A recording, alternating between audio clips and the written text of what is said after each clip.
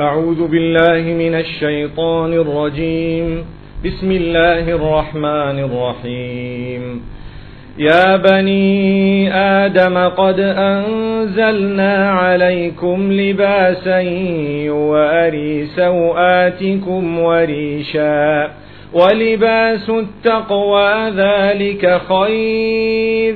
ذلك من آيات الله لعلهم يذكرون يا بني آدم لا يفتننكم الشيطان كما أخرج أبويكم من الجنة ينزع عنهما لباسهما ليريهما سوآتهما إنه يراكم هو وقبيله من حيث لا ترونهم إنا جعلنا الشياطين أولياء للذين لا يؤمنون وإذا فعلوا فاحشة قالوا وجدنا عليها آباءنا والله أمرنا بها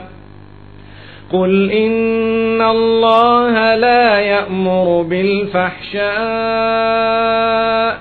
أتقولون على الله ما لا تعلمون قل أمر ربي بالقسط وأقيموا وجوهكم عند كل مسجد وادعوه مخلصين له الدين كما بدأكم تعودون فريقا هدى وفريقا حق عليهم الضلاله إنهم اتخذوا الشياطين أولياء من دون الله ويحسبون أنهم مهتدون يا بني آدم خذوا زينتكم عند كل مسجد وكلوا واشربوا ولا تسرفوا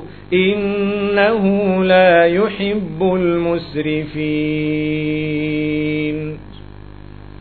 السلام عليكم ورحمة الله وبركاته. بسم الله الرحمن الرحيم. الحمد لله رب العالمين والصلاة والسلام على المبعوث رحمة للعالمين نبينا محمد وعلى آله وصحبه والتابعين ومن تبعهم بإحسان إلى يوم الدين وبعد. We praise Allah subhanahu wa ta'ala. We send blessings and salutations upon Muhammad sallallahu alayhi wa sallam, his entire household, all his companions. We ask Allah subhanahu wa ta'ala to bless them all and to bless every single one of us. My brothers and sisters, I see and I notice the face of the youth, which is really, really a very positive uh, fe- feeling.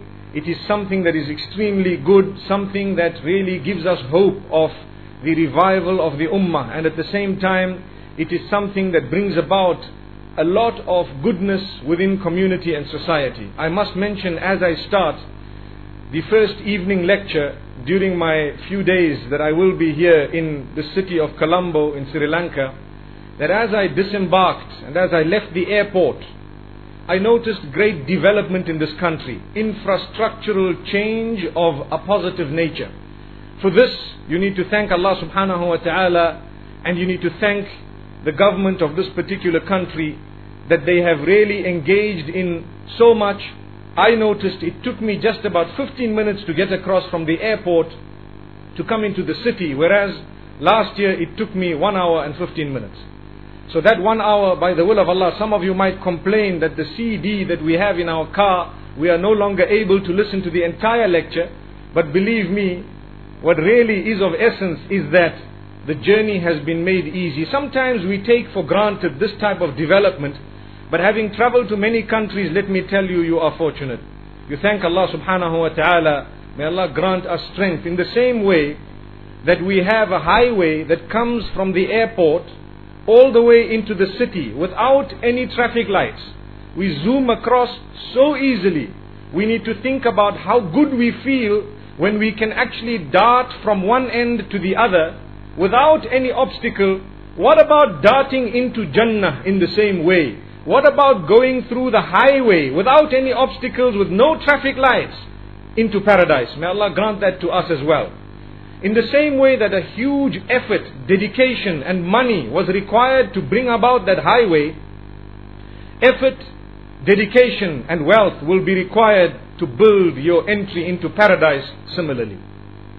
Something extremely important. When we use these facilities, we don't for a moment think that they will help us the few times that we use that road. Perhaps we will go down in history as being a generation that contributed to our country the most, maybe. But what about going down as a person who entered the akhirah, a person who entered paradise by reaching out to people, by being the best of people, by trying to obey the instructions of Allah subhanahu wa ta'ala as best as possible, by being people who were always found in the masjid. What is the masjid? Amazing. That's our topic this evening. The cry from the masjid. It's a topic I was given to speak about. Amazing. So I chose to start with the cry of the highway. Because mashallah, as we move on that highway, think for a moment how lovely we feel. I felt so good. I was actually shocked. For a moment I thought I was in a first world country. To my left and right were beautiful green gardens. Amazing. Even better than some first world countries. The weather has been immaculate and excellent this time by the will of Allah. We thank Allah for this. But as I was crossing, I told myself, Ya Allah, grant us entry into paradise in a similar way. Then I remembered that entry into paradise also requires a great effort.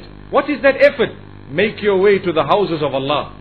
Find your way to the place where you will prostrate. The term masjid is derived from the word or the root sajada, which means to prostrate. Sajada, to prostrate. The place of prostrating is known as the masjid. How many of us prostrate five times a day for our Maker? Then we expect to enter paradise with ease. A great effort is required. No one is asking you to lift concrete blocks in order to get that highway prepared. No. But what is being asked of you is to lift your blanket off your bed in order to get the highway prepared by the will of Allah subhanahu wa ta'ala.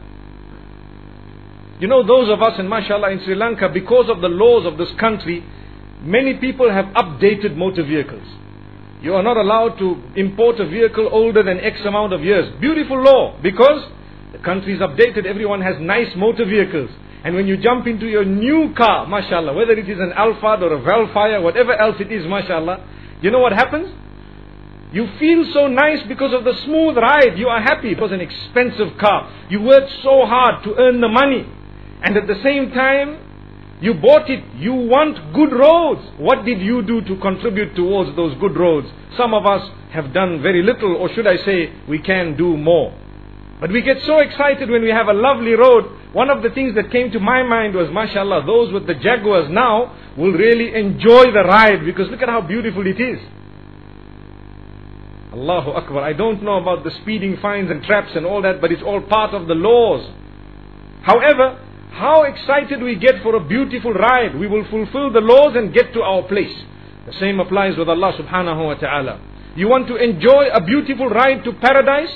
Well, you just got to fulfill the laws. Do not go above the speed limits. Make sure you are not stopped or blocked by some obstacle. May Allah protect us from spiritual punctures.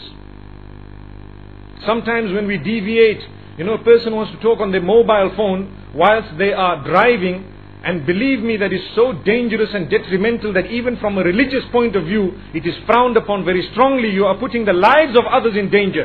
Even if you think you are multitasked. Believe me, the women who are multitasked, perhaps, will tell you, don't do that. Allahu Akbar. They will tell you, don't do that. What about us? So if we are to talk on the mobile phone, not only will we be fined, but we are putting lives at risk, including our own. We will tell you, adopt the law. Adopt the law of the land. Do not do that. What about with Allah subhanahu wa ta'ala? Why is it that we want to get to a destination, but we are not yet in the masjid? We have not yet got to the house of Allah subhanahu wa ta'ala. We have not yet read our salah. So, to start off this message, I want to invite you to the most beautiful pillar of Islam after the Shahada, and that is to fulfill and establish your five daily prayers. How can I call myself a Muslim when I have not yet established my five daily prayers? And if you notice, the establishment of your five daily prayers will come upon levels. There will be a stage when you have to force yourself to do it. You have to.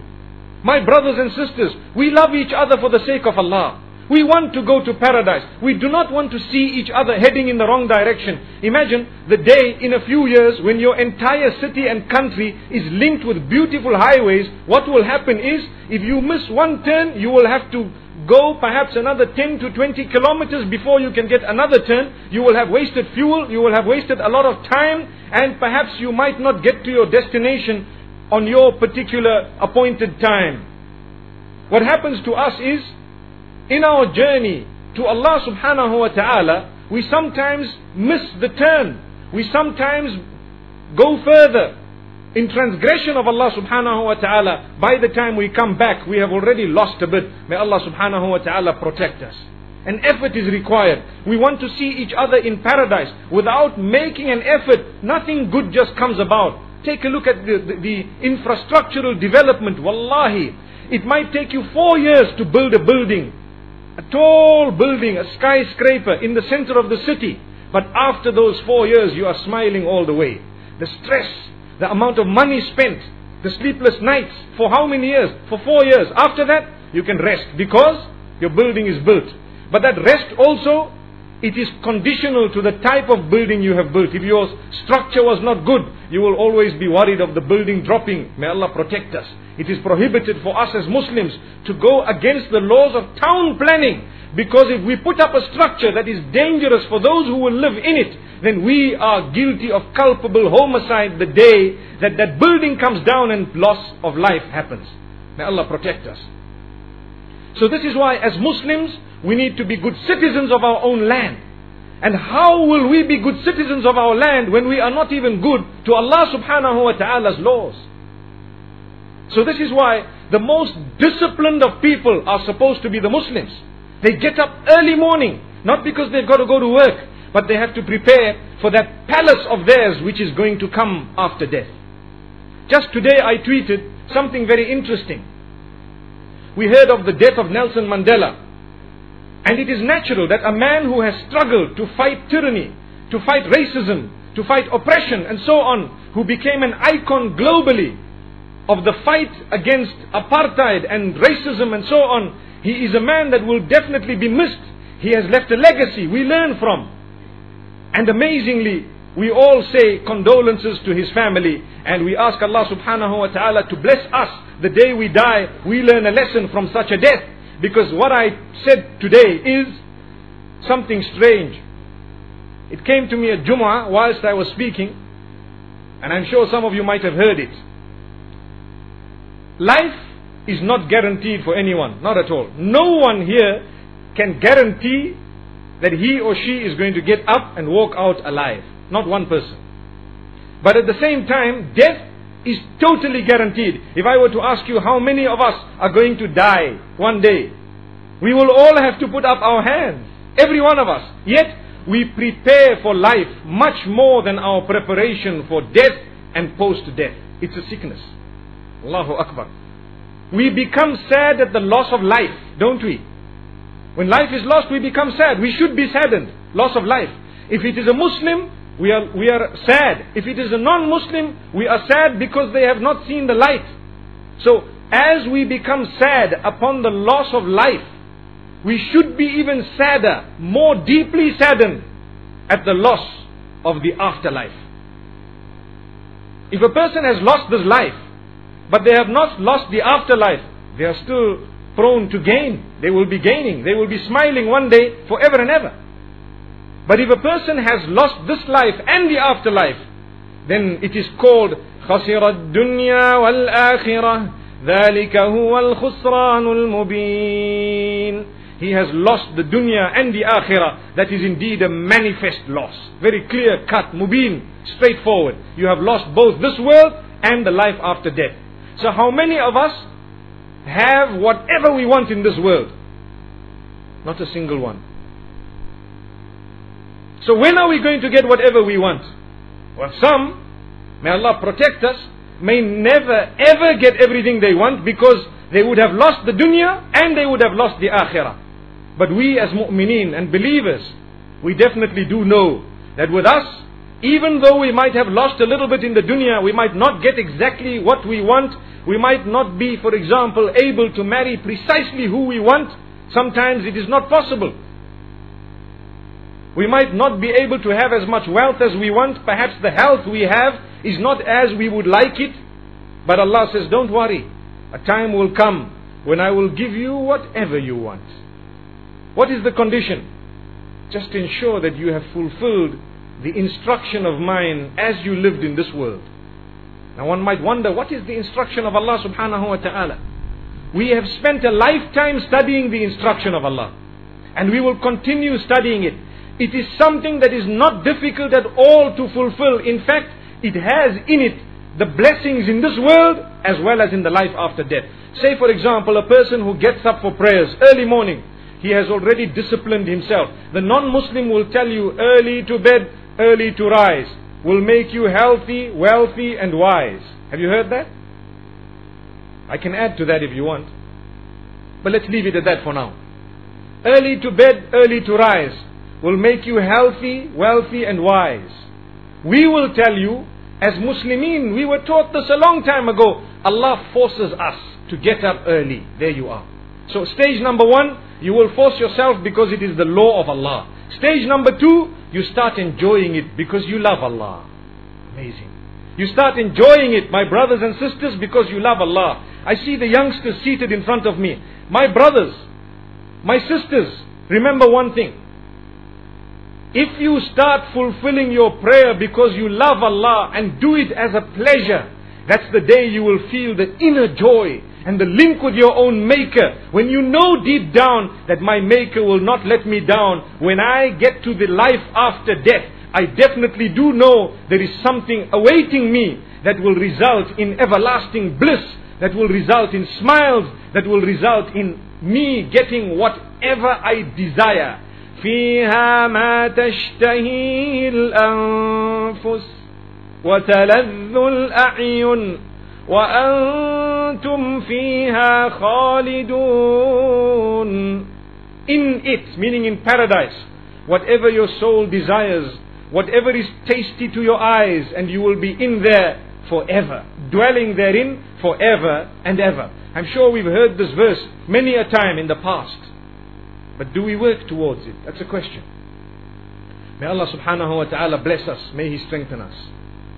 We have the houses of Allah it is not befitting for us to even start speaking about the house of Allah subhanahu wa ta'ala when we are not even fulfilling our five daily prayers. When we are not even fulfilling our own salah. I've always told the youth and the youngsters, listen my son, do me a favor, do yourself a favor. What is the favor? Fulfill at least your farad. That's the minimum. We are not saying that that is your duty, fulfill your farad and walk out, but that is the starting point. It is a starting point. Some people are lazy. They say, you know, the Salatul Isha is going to take me so long. I'm going to have to read the Sunnah and the Farad and the Sunnah and the Witr and so on. And so they say, well, I'm not going to read it. Just leave it. It's okay because I'm weak. I'm weak. The reality is that those are the clutches of the devil. Imagine a man is telling you, this is just an example that came to me now. A man is telling you, I will give you $5,000 and you say, no, I don't have any place to carry that money. So just leave all of it. If you have space for $2,000, take two at least. And you know, it reminds me of the man who was dreaming. And in his dream, someone was offering him something, some money. So, it was the other way around, where the man is saying, okay, you know what, I'm going to give you a hundred dollars. He says, no, I want a thousand. He says, no, no, no, no. I'm only giving you a hundred. So this man who was sleeping, he says, no, I want a thousand. So the other man is arguing, he says, no, I'm only giving you a hundred. In the meantime, something happened and this man woke up. When he woke up from his sleep, he realized there is no hundred and there is no thousand. So he quickly closed his eyes and says, okay, just give me the hundred, let's get it sorted out. Give me the hundred, let's get it sorted out. Allahu Akbar. But the point I was raising was that as much as you can fill in your pocket, fill it, take it, because you are unable to carry a large amount maybe, but at least you will be able to carry something What happens with us when we look at the salah and we think now I have to make wudu, now I have to go, now I will have to spend so many minutes. What will happen? Amazingly, we start thinking, for example, wrongly that let me just leave it all together. I'll just make tawbah a little bit later on. I will repent to Allah. It does not work that way. من ترك الصلاة متعمدا فقد كفر. Do you know that the hadith of the Prophet ﷺ, such a big warning, a warning of the exit from the fold of Islam of a person who intentionally abandons salah. This is why a few weeks ago one of my colleagues was asking me that you know when we get each other up in the morning and we, we should be very careful how we word it. Because if you're waking someone up, say for example, wife is getting up husband, or the other way around, and say for example, the wife is saying, listen my hubby, are you getting up for salah? If he says, no I'm not, do you know what he's saying? He is saying, I'm not going to fulfill the pillar that makes me a Muslim, so I'm just leaving it. And it only took you two minutes to do it. It took you five minutes. Was, so don't say, are you getting up for salah? Say, get up. Just say, get up. Because the minute you say, are you getting up for salah? If the answer is no, oh, believe me, it is such a dangerous statement, I don't even feel like uttering how serious it is. The person saying no. It's like telling Allah, you know what? I don't want. And you walk away. How can you do that? So we ask Allah to strengthen us. We need to think of these deep statements as well. Getting someone up, get them up. Are you getting up? Think to yourself, I'm alive, I'm breathing, I've got eyes, I've got so many things. I'm, you know, mashallah, Allah's blessed me so much. Let me get up for the sake of my maker. Start my day with two rak'at of salah. So you start with the farad. Then you come across a hadith of the Prophet ﷺ where he says, ركعتا الفجر خير من الدنيا وما فيها. In Sahih Muslim, the Prophet ﷺ has explained this hadith subhanallah, where he says the two units that are read for Salatul Fajr, which is the Sunnah of Fajr, not talking of the Farad. The Farad is already compulsory, it has its own reward. But the two Sunnah, the two units that we are reading pre-Farad, the hadith says they are better than the entire world and whatever it contains. Imagine. So get up a little bit earlier. Amazing. Those two units, and this is why when we get to the house of Allah, we should get there a little bit early so that we can read them beautifully. Some of us get there late. And then we want to rush through those two units as though Allah is going to be benefiting from what we are doing. It is us who are benefiting, not Allah. I cannot rush through my salah in a way that I pretend that I am doing a service to Allah. No. I am actually benefiting myself. I'm serving Allah subhanahu wa ta'ala. But He does not need that act of worship. It is me who needs it. So remember, start off with your farad. My brothers, my sisters, extremely important. That salah, when we get up early morning, not only will we feel good, but we have already been awakened at that beautiful time. You can go to work on time. You will not be late. Why? You're a Muslim. When a Muslim says, I will be there at 8 o'clock, believe me, by the will of Allah, 5 to 8, they are there. This is why I always say, in most cases, those who arrive late for their appointments have something wrong with the fulfillment of their salah on time. Always. There might be obviously some exceptions to that because people who arrive late due to reasons beyond their control. But if a person is always late for his appointments, what will that indicate? It will indicate that they are not on time for their appointment with Allah five times a day. But a Muslim should be so disciplined that when the adhan goes off already they are preparing to walk towards the masjid. Imagine. On a Friday, did you know that there is a competition that takes place? A beautiful competition that takes place. Do you know what? Those who come first to the masjid, their names are recorded. This one was first. This one was second. This one was third. The malaika, the angels are standing at the door of the masajid recording the names of those who came first, second. One uncle comes 10 o'clock in the morning. His name is written. Every Friday this man is first. This one is second. That one is third. When the imam gets up in order to deliver the sermon, those books are closed and even the angels come in to listen to what is being said. It's a hadith of Rasulullah sallallahu alaihi wasallam. How many of us want to win that race even once in our lives? Once in our lives. A lot of us seated here, mashallah, we've been reading salah for years, alhamdulillah. Jum'ah, we've all been there. Today, mashallah, we had a beautiful crowd, salatul Jum'ah. But the winner is he who came first. Only Allah knows who that was. And then second and third and fourth and so on. So much so that another hadith says, whoever is there in the first hour, they are as good as he who has sacrificed a major animal for the sake of Allah subhanahu wa ta'ala. Who comes in the second hour, meaning in the second time, is as though they have sacrificed a smaller animal, and so on and so on. May Allah subhanahu wa ta'ala make us from the winners at least a few times in our lives. Something very interesting. The house of Allah subhanahu wa ta'ala, the masjid. Imagine myself, if I were to come to your house, I would need to know you at least. I would need to know you a little bit before I just come to your house. I wouldn't like to barge in to anyone's home. No. I might not be welcome there. Subhanallah. May Allah subhanahu wa ta'ala grant us goodness.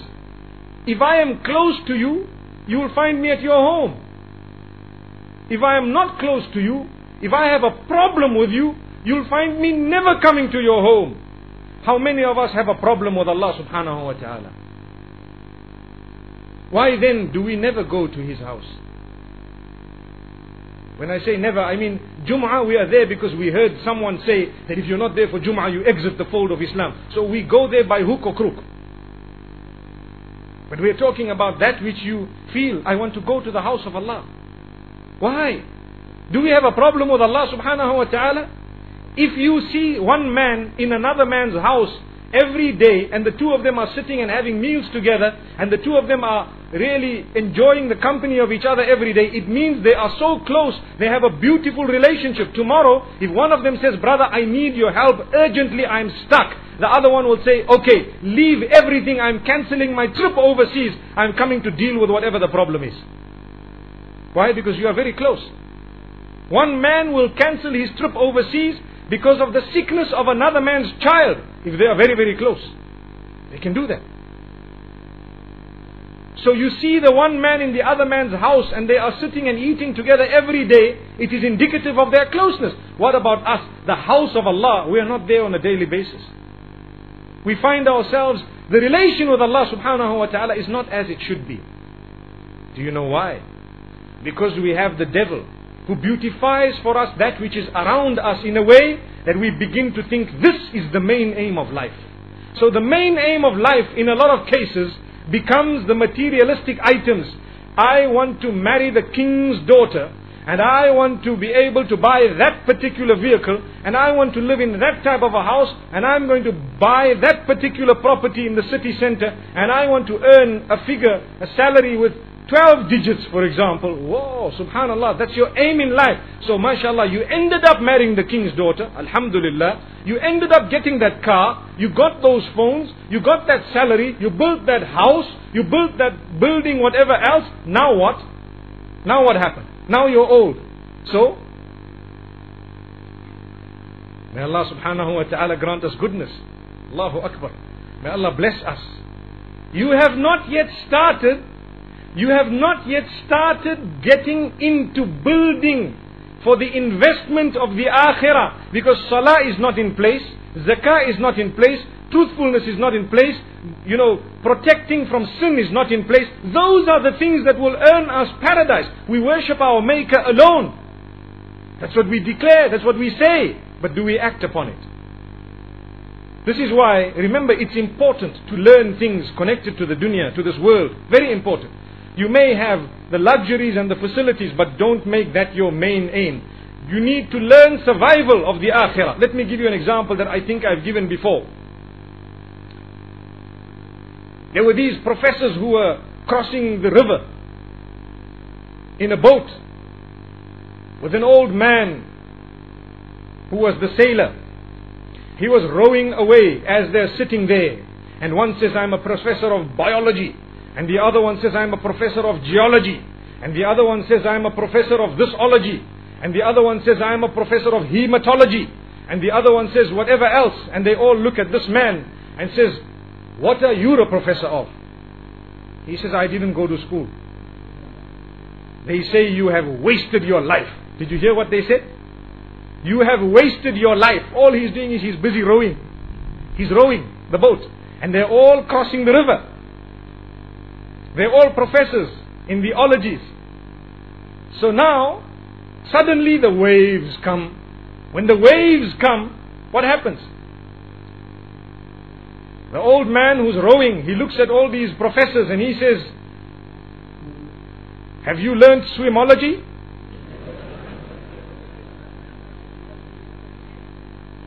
Do any one of you know how to swim? And they said, No. He says, Well, you have wasted your life.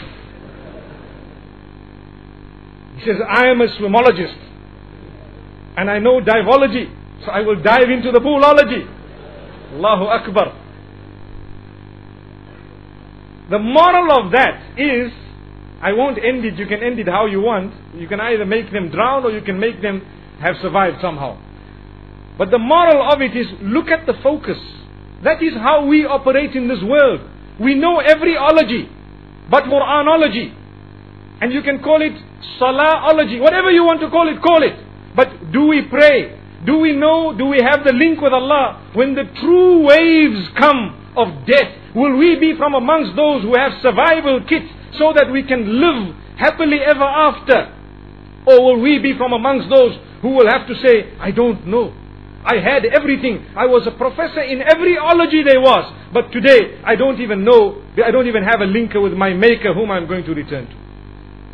Something very important for us to think. You know, we are sound intellects. This country, mashallah, beautiful. We speak English. We understand. We, uh, we have read and written. We have top schools, whether it's St. Thomas or any other school. I see the smiles. I just overheard that name today. Subhanallah. So it's important for us to know that we have everything laid down. Every time we go to school, we pass the Wellawatte Masjid and Nimmal Road Masjid and what else Masjid, mashallah. Everything we pass.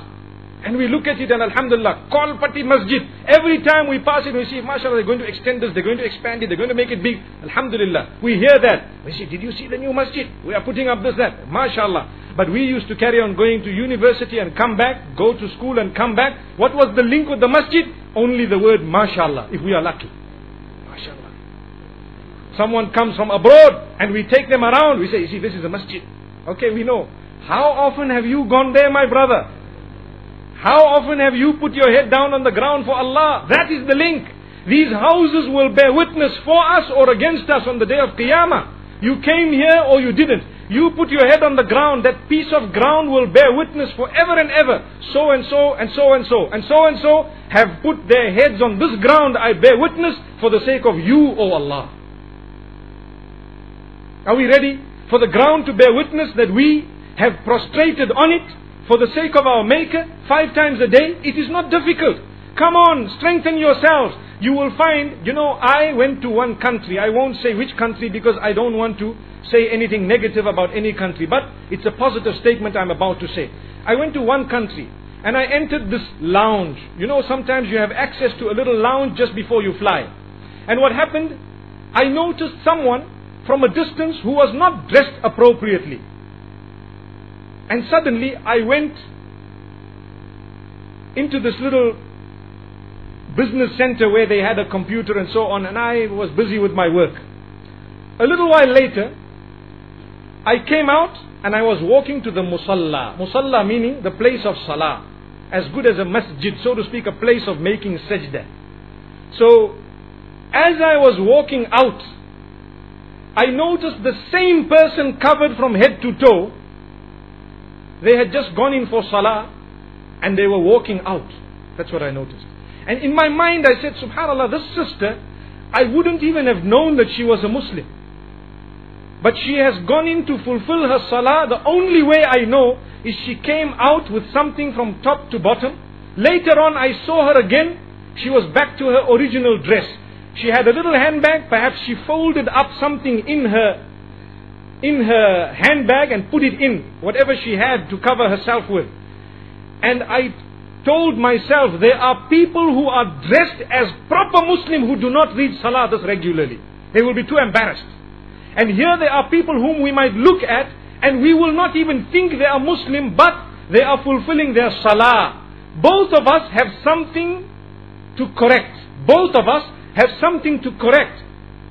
But the one who is the bigger hypocrite is the one who is dressed correctly and does not bother to have the link with Allah regarding salah. May Allah subhanahu wa ta'ala protect us from hypocrisy. Later on, one brother met me at that same lounge and he told me, Do you know the sister here is a very, very big celebrity? And I was shocked. I said, Amazing. Look, the celebrities who are Muslim fulfill their salah. They know they have to answer to Allah. They know their answering is not to me and you. But with us, we forget for a moment and we think, look at these people. Are they even proper Muslims? But my brother, you'll be shocked. Those whom you think are a big deal in the world, some of them fulfill their salah more regularly than you and I. May Allah make us strong. Really, because when you start off with salah and your link with Allah through salah, it will automatically protect you from a lot of immorality and evil. A lot of it. And sometimes people say, but I've been reading Salah for many years. Why is it that I still feel the inclination to, uh, towards adultery or pornography and so on? That is because there is something wrong with your Salah. Perhaps you are just paying lip service to it. One of the main cries of the masjid, of masjid here meaning the place of prostration is, my brothers and sisters, we have not yet understood the Salah that we have been fulfilling for years on end. We have not made an effort to understand the meaning of Sami Allahu liman hamida. Rabbana wa lakal hamd. I don't even know what it means. And we, when we don't know what it means, how can we achieve the sweetness of it? We are reading Salah. Allahu Akbar. May Allah protect us. We don't know anything. We have no clue. Let me give you one other example. This I was told by one of the mashayikh. He says, there was a man who was fulfilling salah. And he was an irregular, but he made his tawbah and he came to the masjid. So he arrived at Salatul Fajr. And I hope my brothers and sisters that not a single one of us misses Salatul Fajr tomorrow morning. Is that a promise? By the will of Allah. You know, inshallah means two, three things. I, am sure you're aware. When people say inshallah, then you say, Are you coming to my house? I say inshallah. Then when they don't come, you say, Did I say yes? I just said inshallah.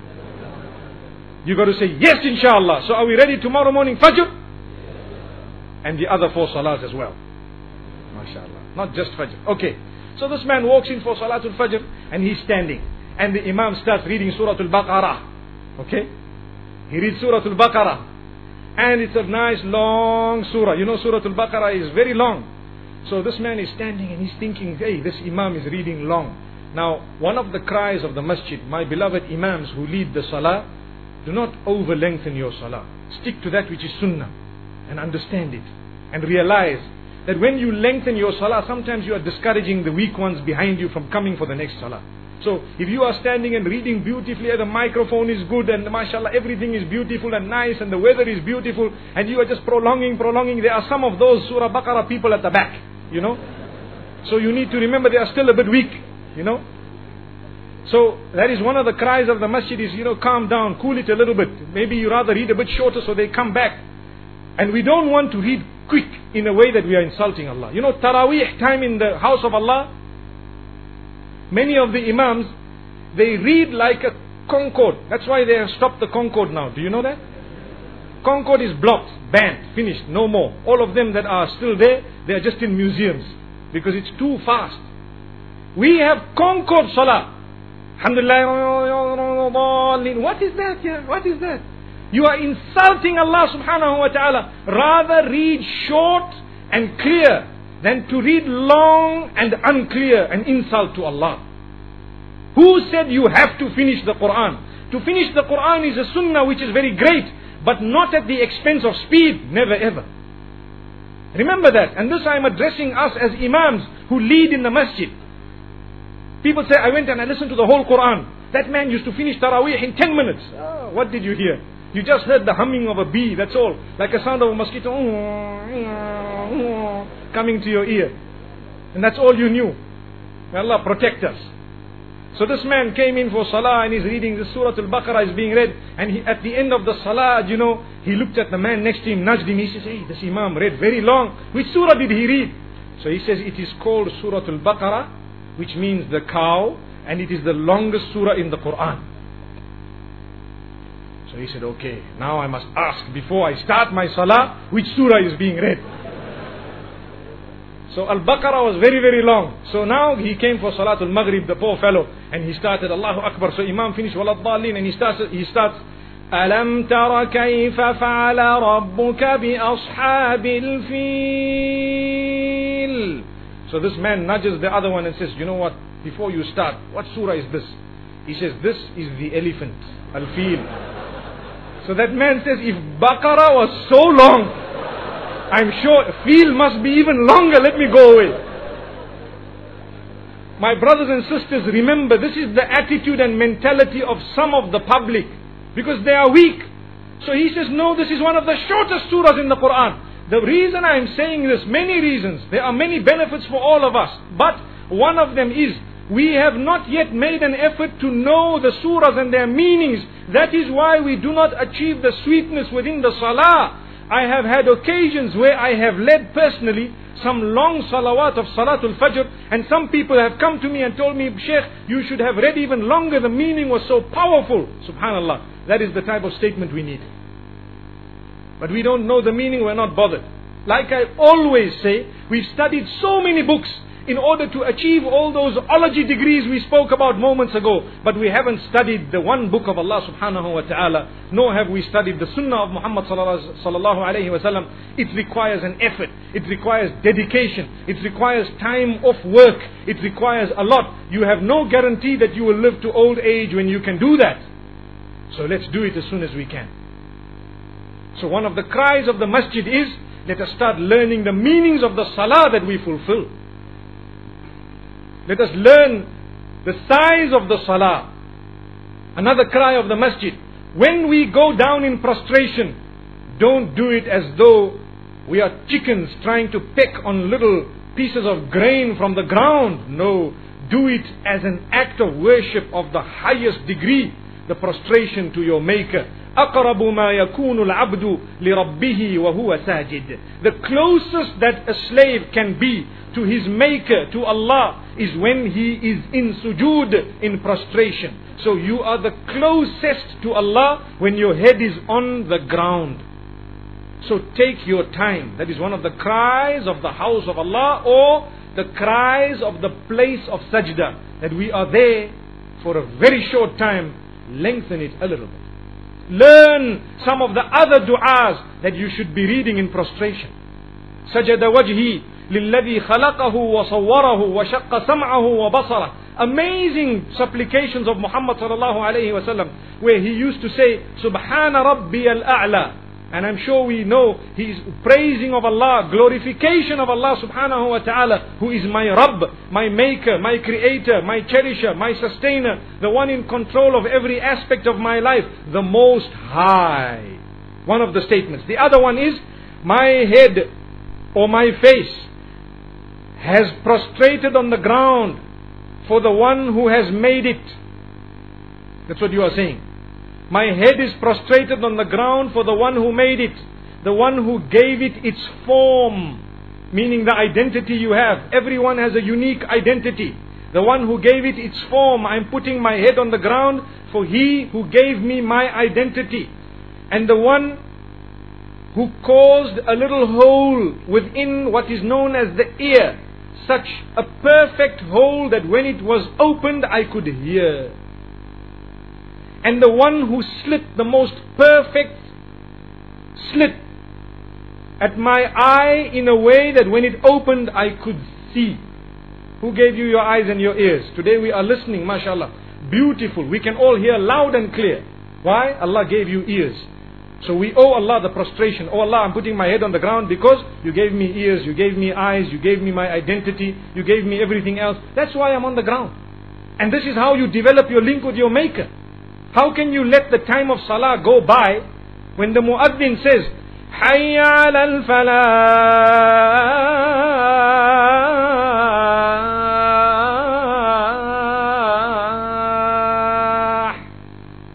Beautiful.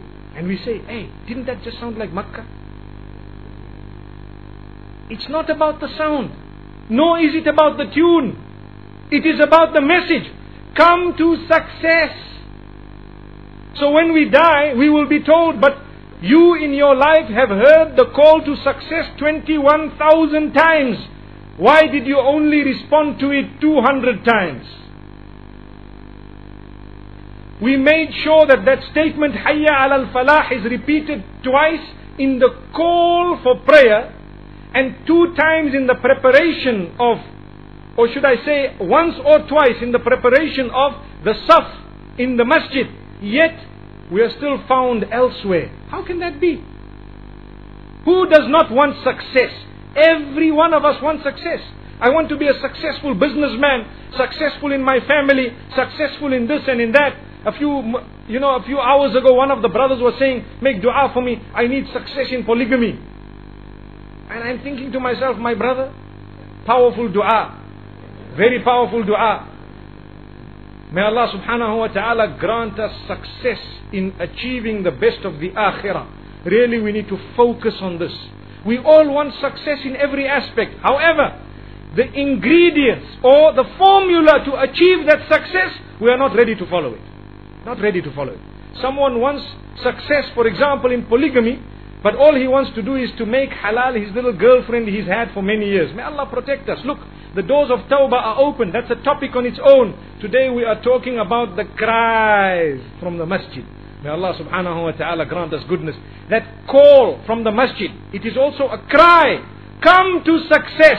Come to success. We are far away from success. Who wants real success? Find yourself in the house of Allah. Find yourself prostrating for Allah, not just one day. I have had cases where people say, Sheikh, I've been reading Salah now. It's been a week and I haven't yet seen good results. One week Allah gave you life, my brother, you are 30 years old. So for 30 years you were not reading Salah. One week you started reading, you expect to start seeing big change. You know when you plant a seed, some of the trees, like some of the mango, some of them, and even some of the papaya, some of the different, you know, uh, trees, when you plant it, it doesn't just grow the next day. It's not like a Jack and the Beanstalk story. No. You plant the bean now, tomorrow morning it's up to seven heavens. It doesn't work like that. You firstly you soften the land.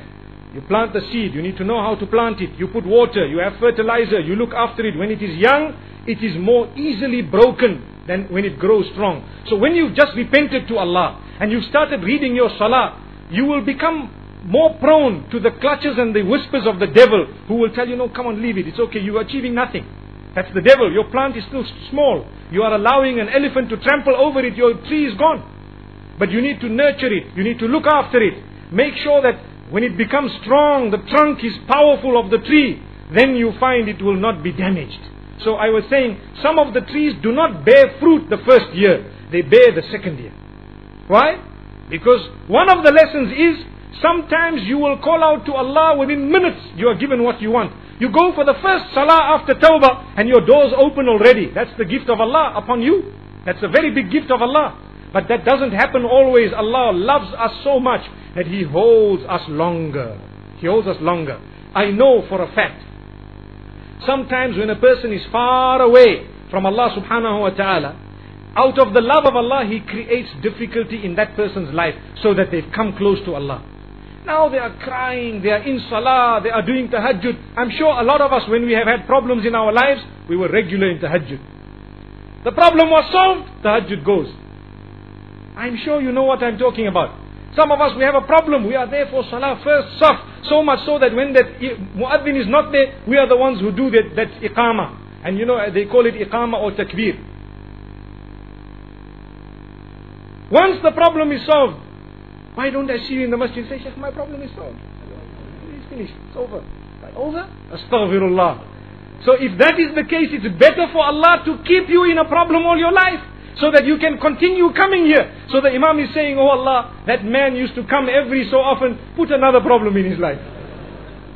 Why? Because we need to see him here, Ya Allah. he needs to come. It's a cry of the masjid. Why wait for a problem before you read your salah? Believe me, Allah can do that to you. If He loves you, He can do it. Create big disaster. And then suddenly you are in the house of Allah crying to Allah. You dressed appropriately now. Why? Because I have a problem. The minute problem is gone, the dress code goes, that goes, this goes, everything is gone. May Allah subhanahu wa ta'ala safeguard us.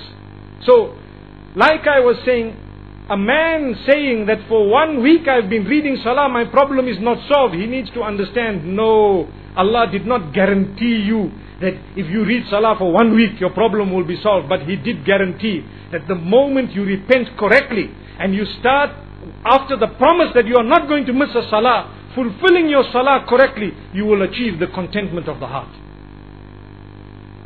Allah bidhikrillahi tatma'innul qulub. Behold, it is through the remembrance of Allah that the hearts will achieve that contentment, that peace, that tranquility. What is the remembrance of Allah? One of the highest forms of remembrance of Allah is Salah.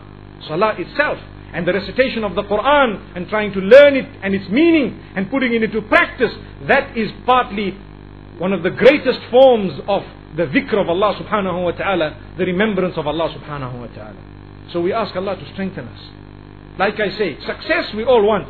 But the formula, the caller who's calling to success, we don't want to respond to him.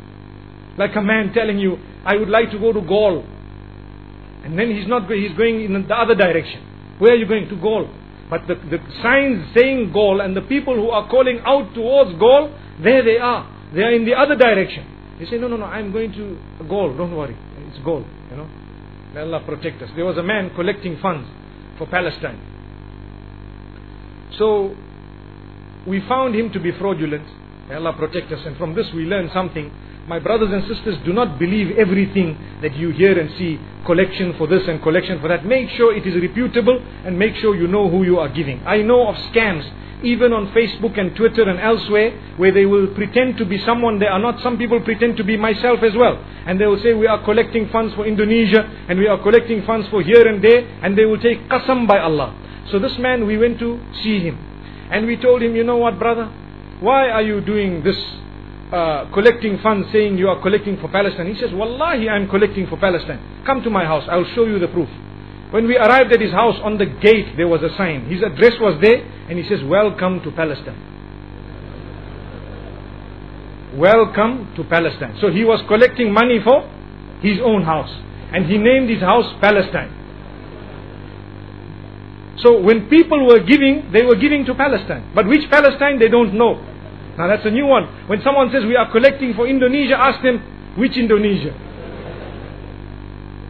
May Allah grant protection to our brothers and sisters across the globe who are struggling. May He use us to reach out to them. So the point I'm raising is sometimes we say, I want success. Which success? The call to success, you are going to the right. But we, we, you are supposed to go to the right, yet you are working, walking towards the left. Shaitan also has his address, and on his gate he has the word success. Do you know that? Which means he will promise you, and he will promise you big success, but he calls you in the wrong direction. So you need to know the source of your knowledge. You need to know the source of the success that you are yearning for. It is the house of your maker. May Allah subhanahu wa ta'ala grant us goodness. Now I'd like to get into a few nitty gritties that a lot of the men folk would be able to relate to. My brothers, when you get into the house of Allah subhanahu wa ta'ala, you need to know your dress should be appropriate. The verses that I read today, they are verses, amongst those verses, there was a verse where Allah says, يا بني آدم خذوا زينتكم عند كل مسجد O children of Adam, ensure that you dress beautifully at the houses of Allah subhanahu wa ta'ala. Don't come in as though you are a little soccer player in your shorts and your little t-shirt with all adverts on it. You know, I visited Dubai recently and I was so happy to hear that some of the masajid there do not allow you to enter in clothes that have any form of writing on them. You're not allowed to come in. Go back, dress appropriately, either in proper clothing that covers you with, you know, disciplined clothing, formal, or your proper long dress. when you walk back. They literally send the people away telling them you are not fit to enter the house of Allah. So people ask me, is this allowed or not? It is definitely allowed. They say, but it's not your house. How can you not? No, there is an etiquette. It is just that in our countries we are weak. So we do not implement that by right, even the nightclubs will tell you that you are not allowed to enter with this clothing and that. Astaghfirullah. We make sure we fulfill that rule. But the house of Allah, we will arrive there with something that really has dirty messages on it. May Allah protect us all. The minimum I can do for Allah subhanahu wa ta'ala to dress properly, appropriately. I'm going into His house. I must smell good. The hadith says, if you have eaten raw onion or garlic, then do not enter the masjid until you have washed your mouth thoroughly, thoroughly, because you will harm the people next to you with that bad smell. What about us who smoke like chimneys and we have packet after packet of Marlboro and whatever else there is. Then we enter the house of Allah and we expect not to harm the angels and the men who are there or the people who are there. My brothers, it is about time we made sure we were clean and smelling good. Smelling good. And this is why one of the benefits of wudu is that we will wash our feet we will wash our hands and so on. So when we enter, we will not have smelly toes that have just come out of smelly pair of shoes. May Allah protect us. So wash up thoroughly, come into the house of Allah. Also, we don't want to disturb the other worshippers in the house of Allah. Make sure your phone is on silent. One of the biggest cries of the masjid today is that we have the latest of the dirtiest of songs that are playing in the house of the Almighty Rabbul Alameen. Coming from whom? from myself and yourselves. And this is why I challenge you to put a simple ringtone on your phone. The reason is, if you were to make a mistake, we are human beings, we make mistakes. If you were to make a mistake to have left your phone on whilst you are in the masjid, in the house of Allah subhanahu wa ta'ala, if it were to ring, at least the ringtone will not be a distraction via dirty words. It will be a mere tone that will be ringing and you will turn it off as soon as possible. So put yourself a simple ringtone. Why do we need all these funny ringtones of people singing songs of the dirtiest nature? And then we enter the house of Allah subhanahu wa ta'ala and by default that is the time the call comes. Why is it?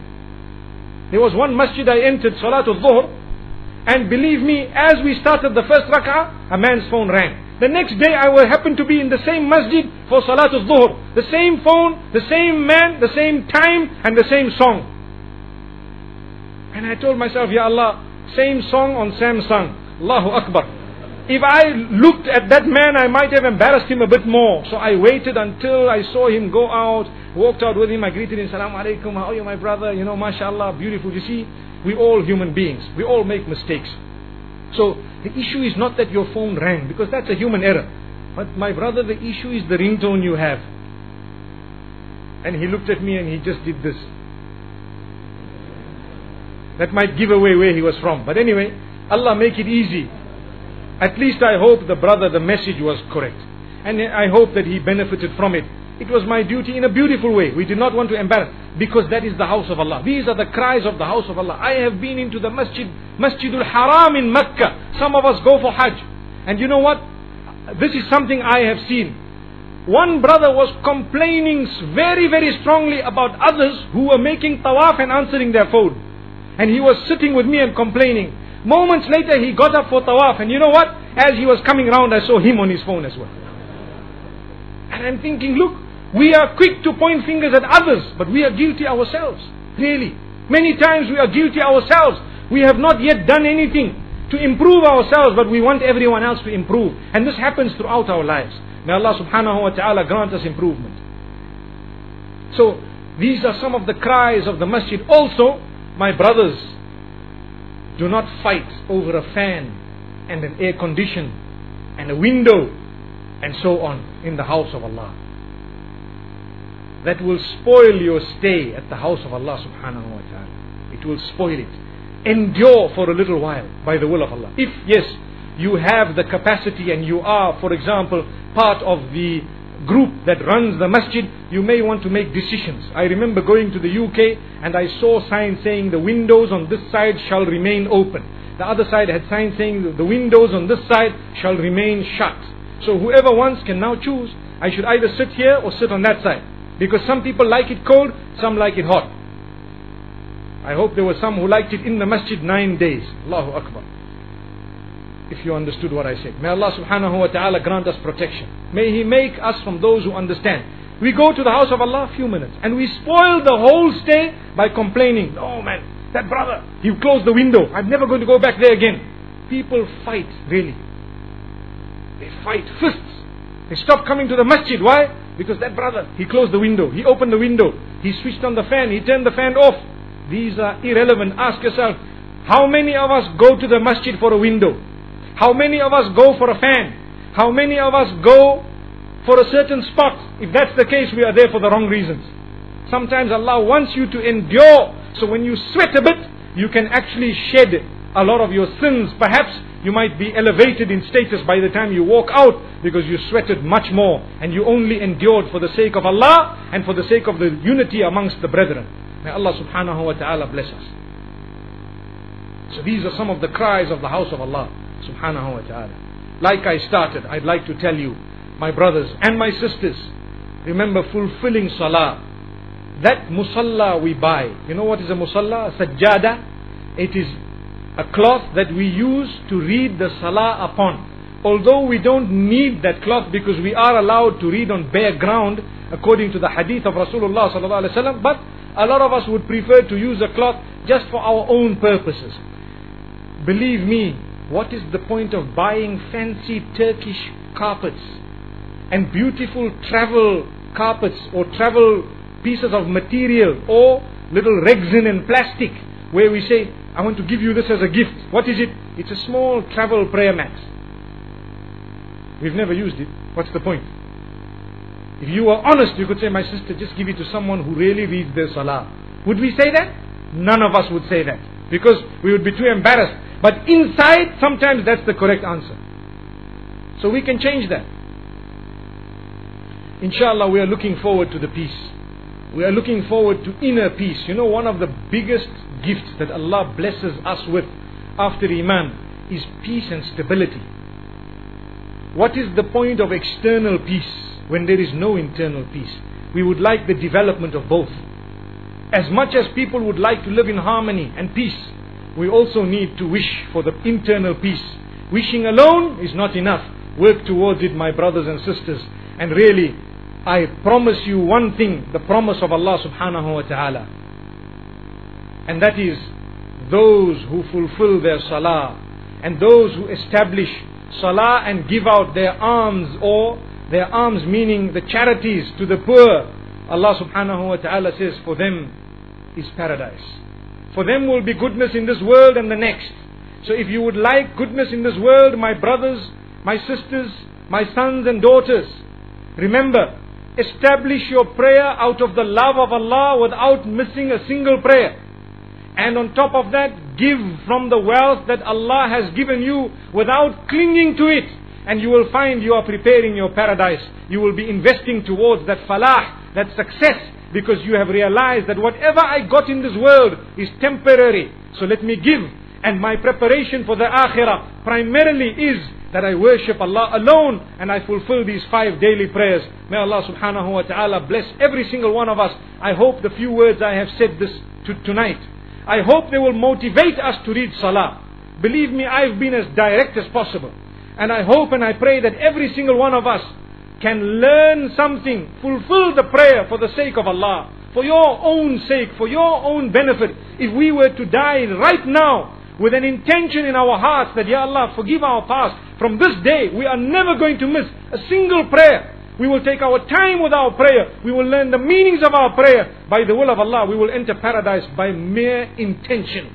By Allah subhanahu wa ta'ala. إِنَّمَا الْأَعْمَالُ بِالنِّيَّاتِ وَإِنَّمَا لِكُلِّ امْرِئٍ مَّا نَوَى Indeed, all actions are judged by their underlying intentions. And for every person, every person shall receive what they intended or the recompense of their intention. So every one of us intends, inshallah, by the will of Allah subhanahu wa ta'ala, with an effort from us as well, that we have given by Allah subhanahu wa ta'ala to fulfill the salah. Am I right? By the will of Allah subhanahu wa ta'ala. Wa sallallahu wa sallam wa baraka ala nabina Muhammad.